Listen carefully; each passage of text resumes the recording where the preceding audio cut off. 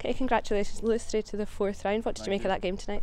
Uh, yeah, there was a lot going on in that game. Um, I think first things first, we're delighted to get the win. I think there's been questions asked of us before as boys if we can go and convert performances into win. Tonight we got the win, which is the most important thing. But looking back, there's a lot we need to take from that going into the next game because I think I still think we didn't really control the game as much as we would have liked.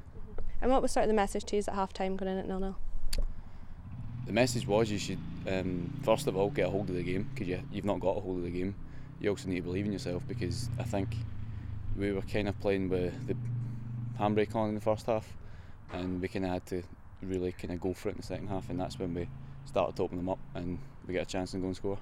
And you just kept going and, and got the goal late on. You must be pleased with like the character that showed from you. Yeah, of course that that was a big fight, and um, as I say, that's one of the things I ask of you at men's football, um, which I think we stood up to really well. Again, part of the learning experience is us being able to stand up to fights and scraps and stuff going on off the ball. Um, when other teams are doing that, but that's part of the learning, and that's what we need to take into first team football if we step up. And obviously, this was the first time you were in the third round, and now you have went a step further again into the fourth round. How pleasing is that for you as a squad?